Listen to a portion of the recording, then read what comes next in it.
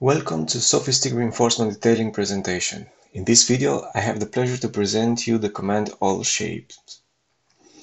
I prepared for this video a small example with a beam and the following details. As you can see, all the profiles are marked with dashed lines uh, and that was my intention because I want to make a group of all the main profiles again later.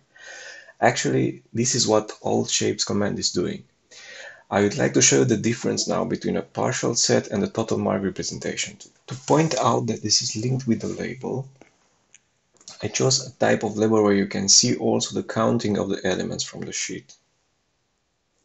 Like this, you can see that when I am switching from partial set to total mark, the amount field from uh, the label is changing.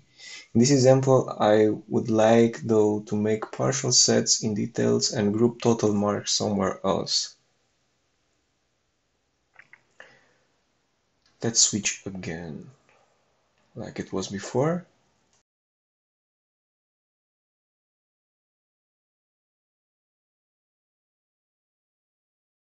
The commands name all shape details you, you can find always active in the drop-down menu.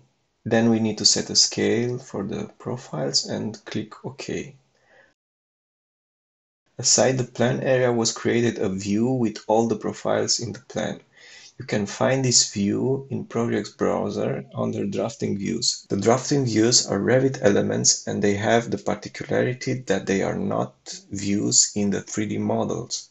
They are actually simply 2D views in which we can draw 2D elements.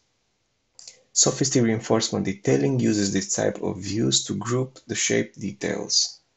For long straight bars, SOFiSTiK reinforcement detailing shows a cut symbol to point that it is a simplified representation of a longer rebar. If you want to change this, you can simply select the shape and uncheck the box in Properties windows for Show Symbolic Lengths. I hope you like this function. If you have any comments or feedback, please leave it below or send us an email to support at sofistik.com. See you soon. Bye.